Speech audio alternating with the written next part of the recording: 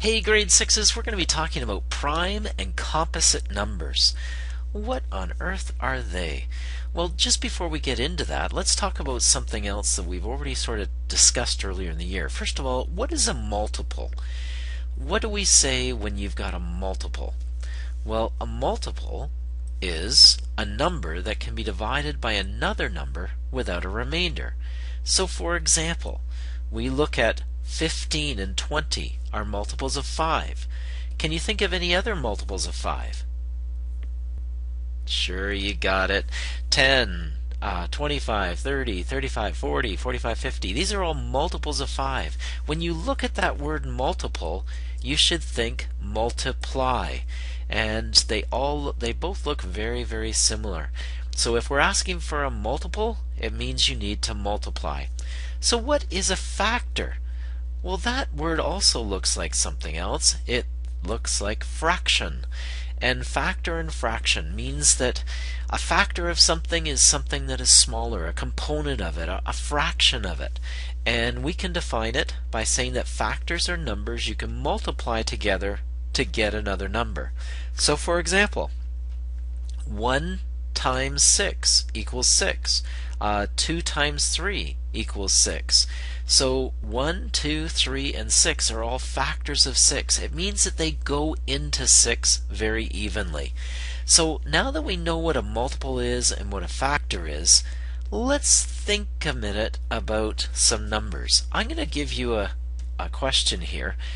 This is a chart where the numbers are going to be either prime or not prime, and I want you to take a few minutes and I want you to think about what makes the left side prime. So the number 2 is a prime number. The number 3 and the number 5 are prime numbers. What do they have in common? I want you to think about that. Hmm. On the other hand, number 1, 8, and 9 are not prime at all. So what do they have in common? Let's look at a couple more. 7 and 11 are both prime numbers. So taking a look at all these prime numbers, what do they have in common? Please stop the tape and think about it for a few minutes and try to figure out what you think the rule is. On the other side, 10, 12, and 14 are not prime. Let's look at a couple more. 13, 17, and 19 are all prime numbers. 15, 16, and 18 are not prime numbers. And last but not least, 23, 29, and 31 are all prime. 20, 21, and 24 are not prime. So I want you to think about it. Stop the video and think about what makes the left side prime and what makes it not prime. Have you stopped it yet? I hope so. Okay, now that you've turned it back on and you've got an answer, let's talk about what it is. A prime number has only two factors. Remember what a factor was? We looked at that a few minutes ago. A factor is a number that you can multiply together to get another number. So factors of 6 are 1 times 6 and 2 times 3. So the factors, there's four of them. So that's what a factor is. So a prime number only has two factors. It can't have more and it can't have less. So let's take a look at a couple of examples. 3. The factors are 1 and 3. 1 times 3. You can't get 3 any other way. So that is indeed a prime number. What about 5? 1 times 5. There's no other two numbers you can multiply to get 5. So that is a prime number. What about 6? Oh, hold on a second. 1 times 6, 2 times 3. That's more. That shouldn't be in there. Get rid of that one. 23. 1 times 23. There's no other way to get it. So yes, indeed, 23 is a prime number. So what is a composite number? Well, a composite number is a number that has more than two factors. So any number that has more than two factors equals a composite number. Let's take a look at a few. 2. You have 1 times 2. Is that a composite number? No! Why is that in there? It is not a composite number because it only has two. So what is it called? I hope you got it. A prime number, yes. What about 4? you can do 1 times 4 and 2 times 2. So it has three factors. Is that more than 2? Yes, it is. So 4 is a composite number. 6 is a composite number because it has more than 2. 7? Well, 1 times 7. Is there any other way you can make it? No, it can't be in there. We'll get rid of that one. What about 8? 1 times 8, 2 times 4, that's more than 2, so it is a composite number. And last but not least, what about 9?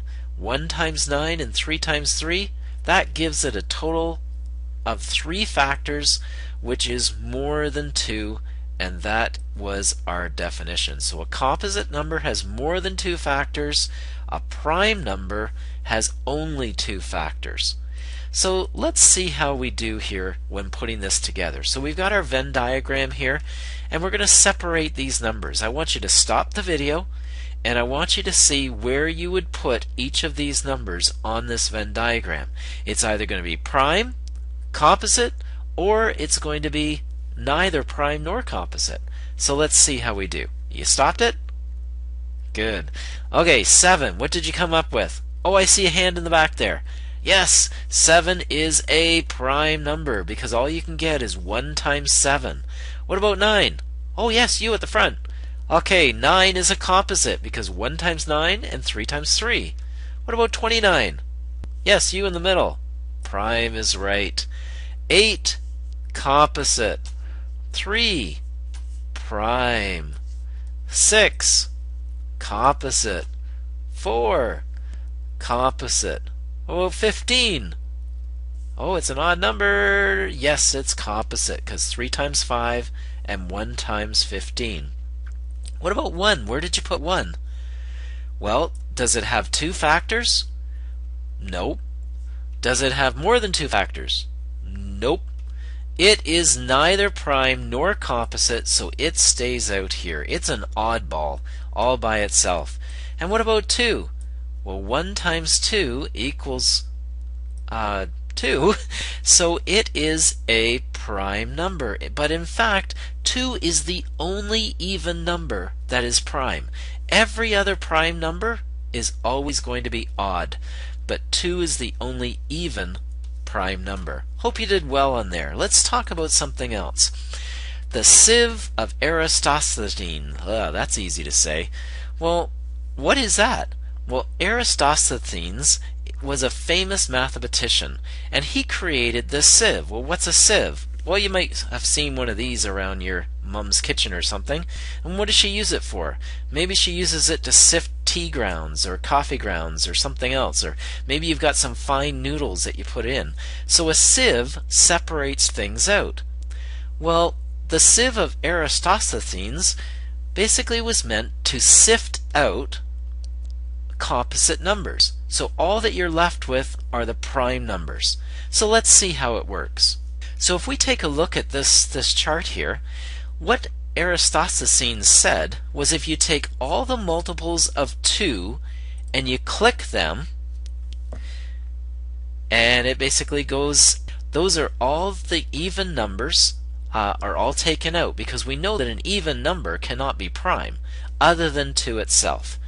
So then let's take the multiples of 3. So we'll click 3, and there are all the multiples of 3. Now they're eliminated.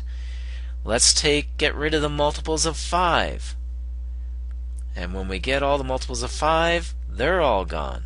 The multiples of 7, we get rid of those. The multiples of 11, notice the pattern there. Multiples of 13, not very many, but there are a few multiples of 17. And lastly, the multiples of 19. And if you take all those multiples, what you're doing is you will find all of the prime numbers up to 400. And even if you did it up to 7, that would get rid of all the, the composite numbers up to 100. And uh, this is what this is the sieve that Eratosthenes invented in order to find the prime numbers. So how are you so how are you ever going to use prime numbers? Well, prime numbers are actually the building block of all whole numbers. And it's really important to know them. And how you can know them is through factor trees. And you know what a, what a factor is. So it remember it reminds you of fractions, so it's smaller than. But if you take this 6 and you say, okay, what are the factors of 6? We're going to break it down to the prime factors. Well, basically 2 times 3, and since they're both prime, that's as low as we can go. But let's take a slightly bigger number and see how that goes. If we take the number 12 and we break it down to its factors, you would get 3 times 4. And 3 is a prime number already, so we put it down directly below. And then we take the 4 and we break it into its prime number, so you've got 2 times 2. So what you're left with is 3 times 2 times 2 gives you what? It gives you 12. That's right. So every, the, every whole number can be broken down into prime factors. But the neat thing is that there's more than one way to do a prime factor. So let's take 12, but this time we'll break it down to 2 times 6. Well, the 2 is already a prime number, so we just put it straight below. But 6 can be divided into 2 times 3. And look what you end up with. 3 times 2 times 2, 2 times 2 times 3. Even though we did totally different numbers in the middle, we end up with the same prime factors at the end. Well, does that work with bigger numbers? Let's try it with something like 56. Well, 56 can be broken down to 7 times 8. What would the next two numbers be in this factor tree? Think about it. Okay, well 7 is already a prime number, so it just goes straight down. 8 can be broken down into 2 times 4.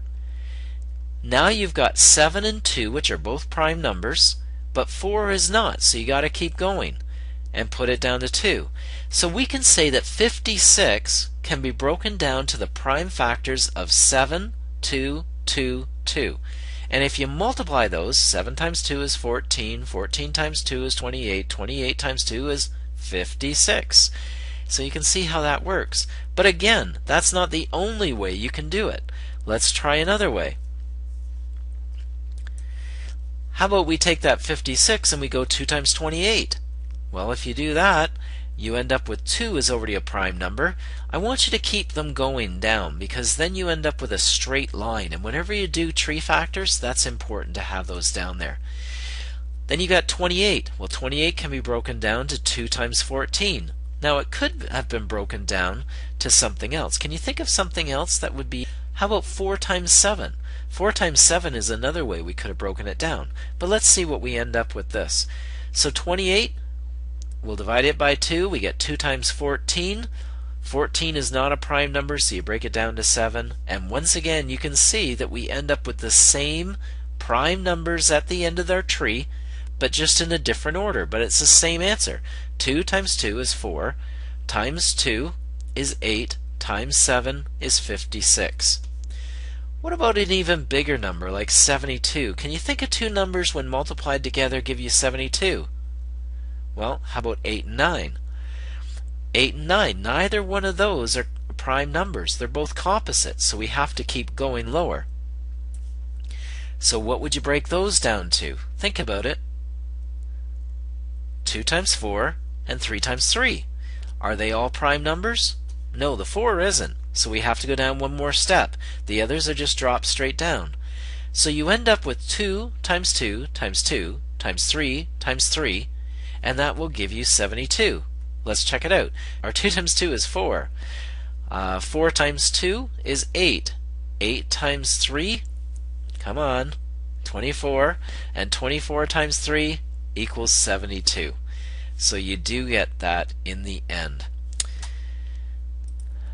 So prime and composite numbers. I hope that you can distinguish between the two and you're going to enjoy the activities that we do with them. Enjoy.